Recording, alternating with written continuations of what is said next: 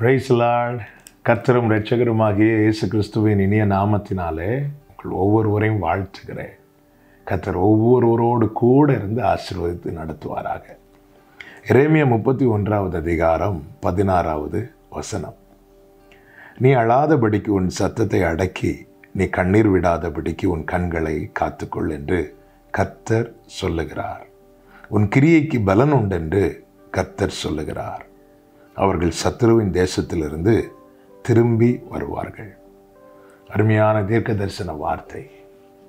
என்னை அதிகம் பலப்படுத்தின வார்த்தைகளில் ஒன்று நீ அழாதபடி உன் சத்தத்தை அடக்கி நீ கண்ணீர் விடாதபடிக்கு உன் கண்களை காத்துக்கொள். உன் கிரியைக்கு பலன் உண்டு என்று கர்த்தர் சொல்லுகிறார். ஒரு காரியம் தெளிவாய் தெரிகிறது. தேவ சமூகத்திலே நாம் வடிக்கிற கண்ணீரை கர்த்தர் எப்படி பார்க்கிறார் தெரியுமா? கிரியையாக பார்க்கிறார்.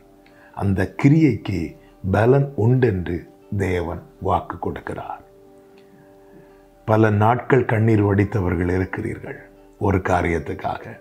பல மாதங்கள் கண்ணீர் வடித்தவர்கள் இருக்கிறீர்கள். பல வருஷங்கள் கண்ணீர் வடித்தவர்கள் இருக்கிறீர்கள். பல இரவுகள் கண்ணீரால் படுக்கையை நினைத்தவர்கள் இருக்கிறீர்கள்.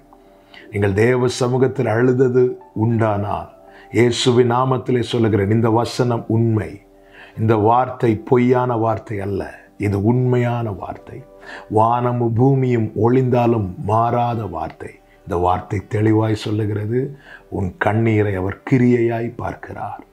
துருத்தியில் எடுத்து தம்முடைய சமூகத்தில் வைத்திருக்கிறார்.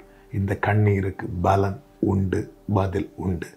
ஆகாரின் கண்ணீரை கண்டு பிள்ளையின் சத்தத்தை கேட்டு ஆகாரின் கண்களை திறந்து தேவன் அதே வனாந்திரத்தில் வைத்திருக்கிற ஊற்றை காண்பித்து கொடுத்தது போல உன் கண்ணீரை கண்டு உன் சத்தத்தை கேட்டு உனக்காய் தேவன் வைத்திருக்கிற நன்மையை நிச்சயம் காண்பித்து தருவார்.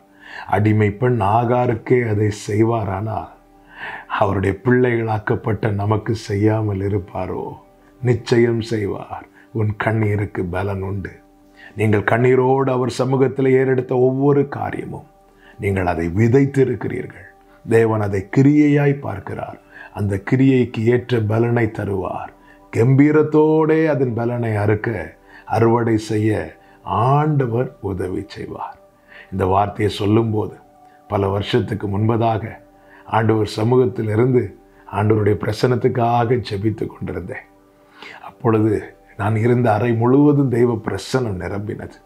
அந்த பிரசனத்தில் என்னால் தாங்க முடியாமல் அழுதேன். ஒரு ரெண்டு நிமிஷம் மூணு நிமிஷம் அழுதுருப்பேன் நினைக்கிறேன்.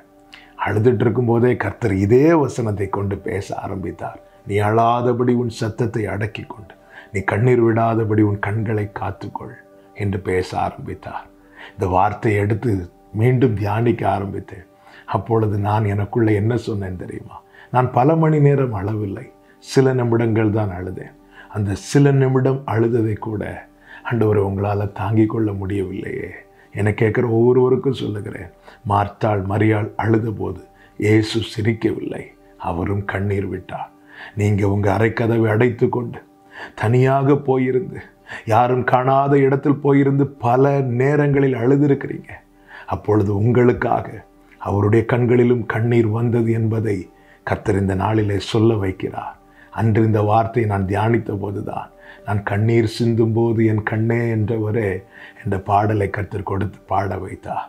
ஒவ்வொருவருக்கும் சொல்லுகிறேன் நீங்கள் எதற்காக அழுதீர்களோ அந்த கண்ணீருக்கு பலனை கத்தர் நிச்சயம் காண செய்வார். உன் கிரியைக்கு பலன் உண்டு.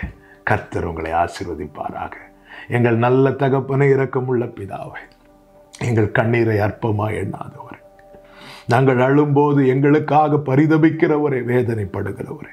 எங்கள் கண்ணீரை துருத்தியில் எடுத்து வைத்து அதை கிரியையாய் எண்ணி எங்களுக்கு பலனை கட்டளையிடுகிறவரே. உமக்கு ஸ்தோத்திரம்.